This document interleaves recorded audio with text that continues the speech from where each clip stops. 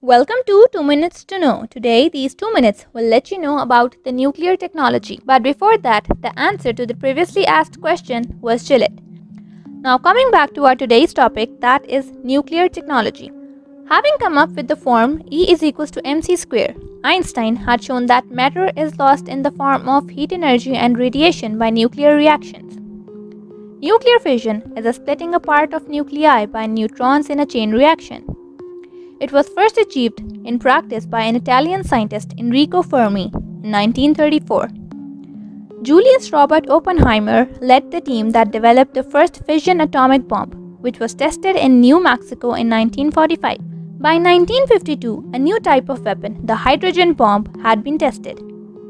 It was a fusion atomic bomb which joined the nuclei of hydrogen atoms to make helium atoms and emit lots of heat. Thus, it was called a thermonuclear weapon. Hydrogen bombs also create spare neutrons as a part of their exhaust, which decay and give off high levels of radiation. This fact is exploited in the neutron bomb or ERW, Enhanced Radiation Weapon.